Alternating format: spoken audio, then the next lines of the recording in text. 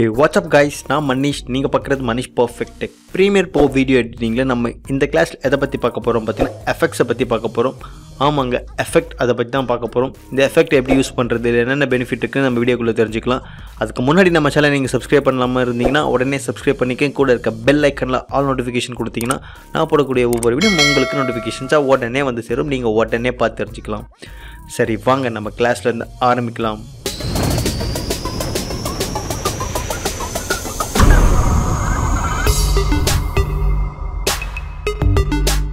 Premiere Pro application open பண்ணது பிறகு பார்த்தீங்கன்னா உங்களுடைய ஸ்க்ரீன் நீங்கள் என்ன ஒர்க் ஸ்பேஸ் செட் பண்ணியிருக்கீங்களோ அந்த மாதிரி இருக்கும். நான் என்னுடைய ஓனாக ஒர்க் ஸ்பேஸ் செட் பண்ணியிருக்கேன். இப்போ இதில் வந்து நம்ம எஃபெக்ட் எப்படி எங்கே இருக்குதுன்னு செக் பண்ணேன்னா ஃபஸ்ட்டு முதல்ல நீங்கள் விண்டோஸில் போயிட்டு இங்கே எஃபெக்ட் அப்படின்னு இருக்கும்.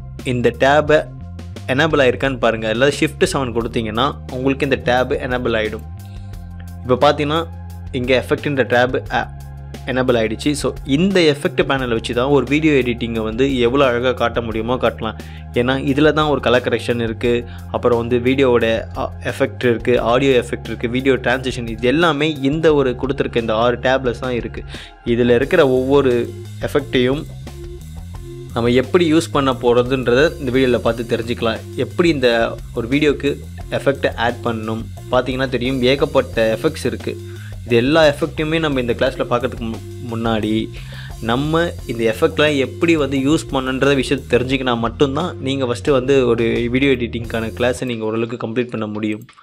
அது இல்லைன்னா உங்களை வந்து டேரெக்டாகவே நீங்கள் எஃபெக்ட்டுக்குள்ளே போனீங்கன்னா இருக்கிற ஆப்ஷன் யூஸ் பண்ணுறது உங்களுக்கு தெரியாது. ஸோ இது எப்படி யூஸ் பண்ணுறதை நான் சொல்லி காட்டுறேன். கிளாஸ் கடைசி வரைக்கும் பாருங்கள் ஃபஸ்ட் ஒரு ஃபைலை இம்போர்ட் பண்ணிக்கோங்க.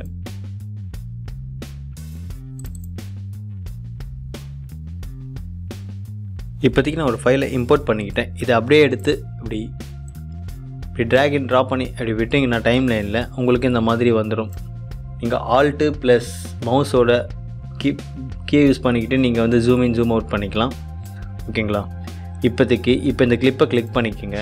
கிளிக் பண்ணிக்கிட்டு இப்போ இந்த கிளிப்பில் பார்த்தீங்கன்னா ஒன்று வந்து ஆடியோ கிளிப்பு அப்புறம் வீடியோ கிளிப் இது ரெண்டுமே ஜாயிண்ட் ஆகிருக்கும் இந்த ஜாயிண்ட் எடுத்து விட்டிங்கன்னா நீங்கள் இங்கே போயிட்டு அன்லிங்க்னு கொடுத்துக்கலாம். அப்படிலாம் இந்த இடத்துல வந்து லிங்கை எடுத்து விட்டுடலாம். அப்படி வேணும்னு எனேபிள் பண்ணனா இதை தூக்கி இப்படி பண்ணி வச்சுக்கலாம். பார்த்தீங்கன்னா தெரியும் உங்களுக்கு திருப்பி அன்லிங்க் கொடுக்க முடியாது. ஸோ இப்போ பர்டிகுலரான ஒரு ஒரு கிளிப்புக்குமே இப்போ இது வீடியோ கிளிப்பு இது ஆடியோ கிளிப் இந்த வீடியோ கிளிப்பில் நான் ஒரு எஃபெக்ட் ஆட் பண்ணணும் எப்படி இதை ஆட் பண்ணேன்னா உதாரணமாக இங்கே வீடியோ எஃபெக்ட்டுக்குள்ளே போயிடுங்க.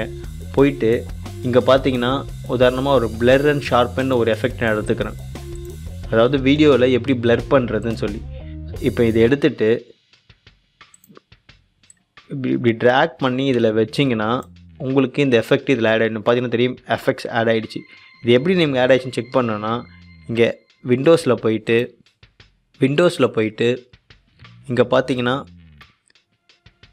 எஃபெக்ட் கண்ட்ரோல்னு இருக்கும். இது கொடுத்தீங்கன்னா உங்களுக்கு இந்த எஃபெக்ட் கண்ட்ரோல் இங்கே வந்துடும் அதாவது இந்த எஃபெக்ட்டுக்கான ஒர்க்கை எப்படி நம்ம இந்த கண்ட்ரோல் மூலயமா பண்ணுறதுன்றத டேப் இங்கே ஓப்பன் ஆகும்.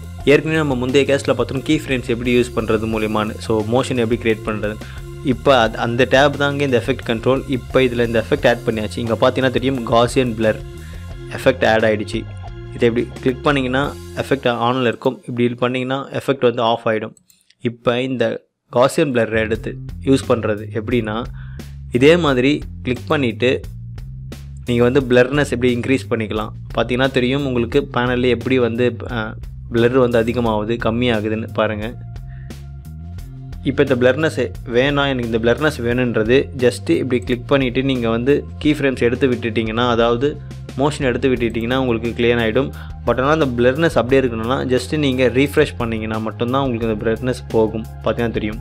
பாருங்கள் திரும்பி என்ன பண்ணி காட்டுறேன். இன்க்ரீஸ் ஆகுது கம்மியாகுது. இதுவே நீங்கள் அப்படியே ட்ராக் பண்ணணும்னு நினச்சிங்கன்னா ஜஸ்ட் இது கிளிக் பண்ணிக்கிட்டு டாகுல் அனிமேஷன் கிளிக் பண்ணிவிட்டு அதுக்கப்புறம் எஃபெக்ட் ஆட் பண்ணலாம்.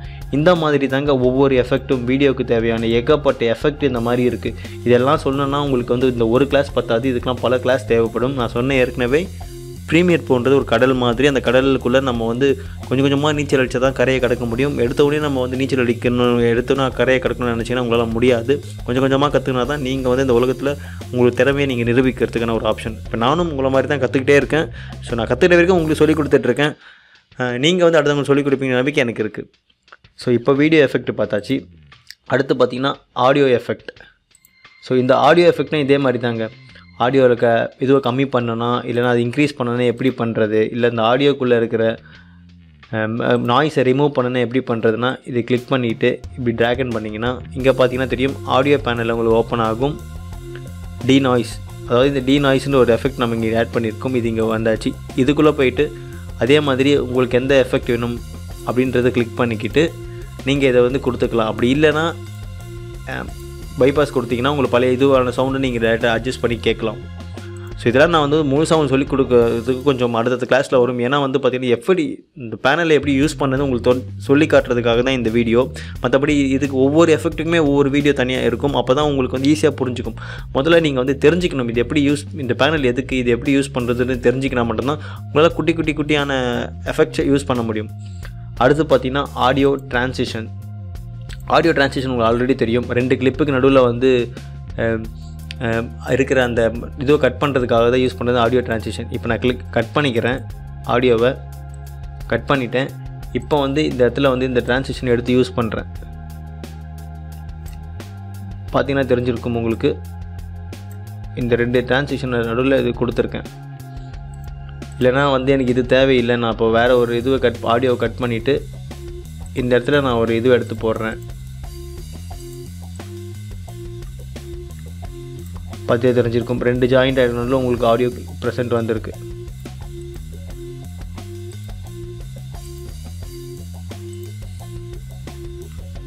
இதுதான் வந்து வந்து ஆடியோ எஃபெக்ட் உங்களுக்கு. அடுத்து என்ன பார்த்தீங்கன்னா வீடியோ எஃபெக்ட் நம்ம ஏற்கனவே பார்த்து தான் ஆடியோ எஃபெக்ட்டும் பார்த்தாச்சு ஆடியோ டிரான்சிஷனும் பார்த்தாச்சு வீடியோ அதுக்கப்புறம் வீடியோ டிரான்சிஷன் இந்த வீடியோ டிரான்சிஷன்ன்றது அதாவது வீட் ரெண்டு வீடியோ கட் பண்ணிவிட்டு அதில் நடுவில் இருக்கிற அந்த டிரான்சிஷனை தான் வீடியோ டிரான்சிஷன் சொல்லுவோம். இப்போ நம்ம வந்து பிளேடு எடுத்துக்கிட்டு இப்படி கட் பண்ணிக்கிறோம். கட் பண்ணிவிட்டு இப்போ இந்த இடத்துல ஏதாவது ஒரு டிரான்சிஷன் கொடுக்கணுன்னா இந்த மாதிரி ஏகப்பட்ட டிரான்சிஷன் இருக்குது ஃபார் எக்ஸாம்பிள் உங்களுக்கு பண்ணி காட்டுறேன் பாருங்கள் திரும்பவும்.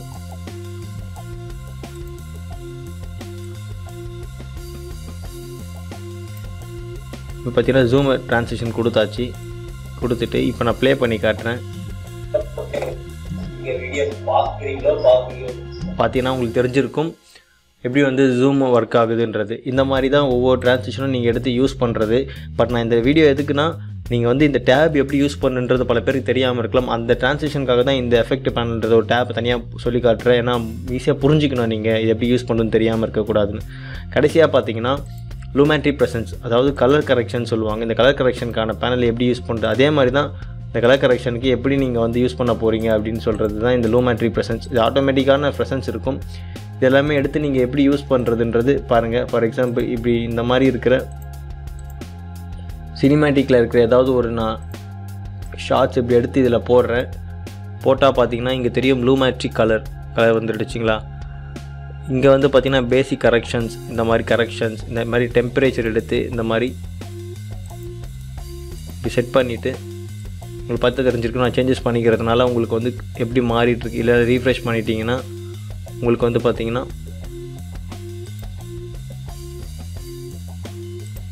பழைய மாதிரி வந்துடும் ஸோ இதுதான் வந்து இந்த மாதிரி கலர் கரெக்ஷன் பாருங்கள் கலர் இன்க்ரீஸ் பண்ணிக்கலாம் எக்ஸ்ப்ளோஷர் கம்மி பண்ணிக்கலாம். இந்த மாதிரி கலர் கரெக்ஷன்ஸ் இதெல்லாமே நம்ம பர்டிகுலராக எப்படி யூஸ் பண்ண ஒரு கிளாஸில் பார்க்கலாம். பட் இந்த கிளாஸ்ன்றது எதுக்குன்னா திரும்ப சொல்கிறதா நான் வந்து எஃபெக்ட்டை பற்றி உங்களுக்கு தெரிஞ்சுக்கிறதுக்காக இந்த ஒரு வீடியோ கண்டிப்பாக இது இப்போ எஃபெக்ட் பேனல்ஸ் எப்படி யூஸ் பண்ணுறது ஓரளவுக்கு தெரிஞ்சிருப்பீங்க. இந்த எஃபெக்ட்ன்றது எப்படி யூஸ் பண்ணுன்றதை. ஸோ கிட்டத்தட்ட நம்ம முடிச்சிட்டோம் வீடியோ எடிட்டிங்கில் ஒரு பேசிக்ஸ் எல்லாத்தையுமே ஓரளவுக்கு கண் கம்ப்ளீட் பண்ணியாச்சு. எந்தெந்த டேப் எப்படி யூஸ் பண்ணுறது அப்படின்றது. இனிமேல் வர கிளாஸில் இந்த இருக்கிற எஃபெக்டை எல்லாத்தையுமே எப்படி நம்ம ஒவ்வொரு வீடியோலையும் யூஸ் பண்ணுறதுன்றதை முழுசாக நம்ம பார்க்க போகிறோம் ஒவ்வொரு எஃபெக்ட்டையும் எப்படி என்னென்ன மாதிரி எஃபெக்ட் இருக்குது என்னென்ன மாதிரி ட்ரிக்ஸ் இருக்குது வீடியோ எடிட்டிங்கில் இதெல்லாம் பார்க்கலாம். இந்த வீடியோ உங்களுக்கு பிடிச்சிருந்தா லைக் பண்ணுங்கள் ஷேர் பண்ணுங்கள் மறக்காமல் உங்கள் கருத்துக்களை கீழே கமெண்ட் செக்ஷனில் பதிவு பண்ணுங்கள் மீண்டும் உங்களை வேற ஒரு நல்ல வீடியோவில் சந்திக்கும் வரை until then bye from Manish